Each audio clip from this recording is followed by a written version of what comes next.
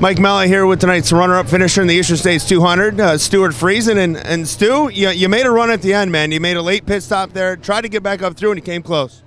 Yeah, for sure. Um, you know, we just tried to do the gas only deal and try to keep the track position, thinking it would kind of lay some rubber down. It got kind of one lane, um, and then with just some of those cautions, just didn't really lay down. And, and you know, Mahaney and, and, Williamson by getting tires were a little bit better.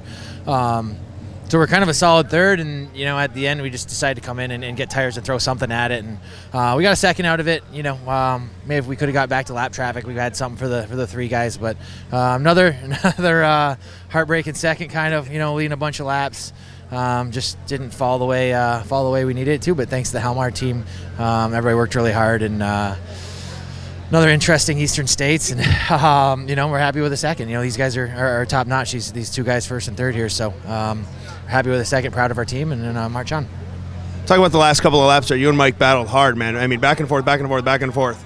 Yeah, it was just you know trying to get in on the outside It was just super slick, but once I squared up, I had pretty good forward drive.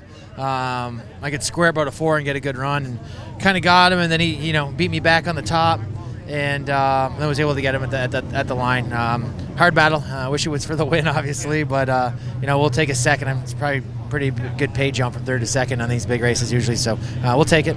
It was like hard racing there with Dylan. You and Dylan got together a little bit and got him around there for that caution, or, or did you get by him, or what happened there? It was right in front of you. I know that. Yeah, uh, he slid up and missed the lane, and then I had a nose there, and he come back down, and um, it looks like my bumper just hooked on his, and around he went. But um, not sure what was going on during that, that long yellow. It was kind of confusing on some of the lineup stuff. So um, he's a good hard racer and um, good kid. Watched him race a bunch of years now. And, uh, it's hard to say, like you know, for you to have a bad couple of weeks, but finishing second these two races after the year you've had, you know, you're smiling, but I know I know you're disappointed. Yeah, absolutely. Uh, we had an awesome year. I just wish we could have got a couple of these big ones here to close it out. Um, a couple of championships, American Racer Cup, uh, which is awesome, Hoosier Cup, North Series uh, STSS title, and uh, we'll go to Georgetown next Saturday and battle from the back and, and try to, uh, you know, try to lock up the South Series title too.